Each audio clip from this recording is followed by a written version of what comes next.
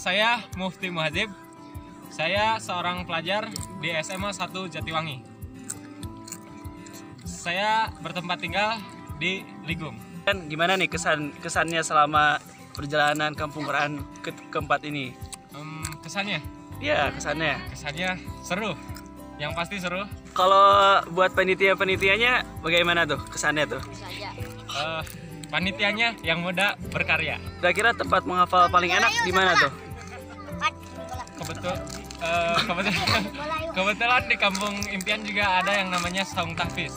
Nah, Ya. di situ saya sangat senang menghafal. di Naila kalau tempat menghafal menurut Naila yang paling mengasyikkan, paling nyaman di mana ya? Oh ya dermaga sama kargo. Apa nih kesan-kesan kakak selama 12 hari di Kampung Impian? Eh, kesan-kesan ini kampuran yang keempat ini menurut ini sangat bermanfaat khususnya buat kita kita yang masih eh, belajar yang masih pelajar. Karena di waktu liburan yang kosong ini kampuran hadir sebagai eh, apa ya wadah gitu untuk kita menggunakan liburan kita menjadi liburan yang produktif. Tempat yang paling kakak suka selama di Kampung Impian buat menghafal di mana ya kayak? Eh, di dermaga.